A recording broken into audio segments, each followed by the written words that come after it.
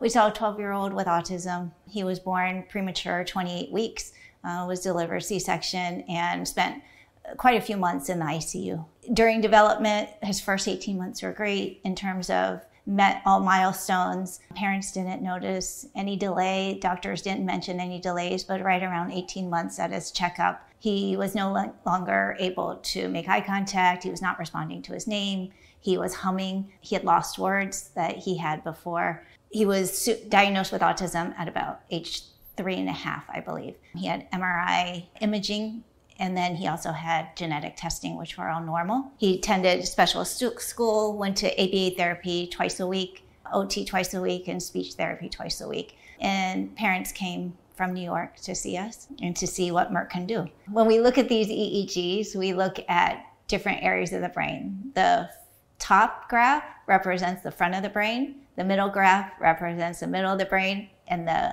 lower graph represents the back of the brain so frontal, central, and posterior. When we look on the x axis or that horizontal line, we're looking at those numbers and those are the frequencies. So, optimally, the resting brainwave rhythm should be between 8 to 13 hertz, and we call that alpha. In children with autism, we often see development of posterior alpha activity, but a lack of development in the central and frontal regions.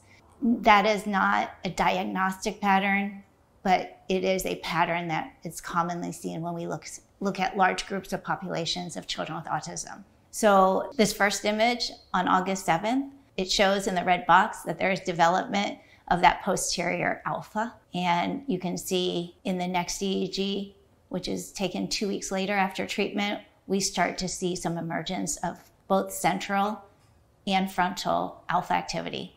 And so, clinically, he was just in those first 10 days, mom noticed he was calmer. He was able to understand better. He was able to follow directions. He was starting to imitate, where before he was more babbling or not attempting to say words.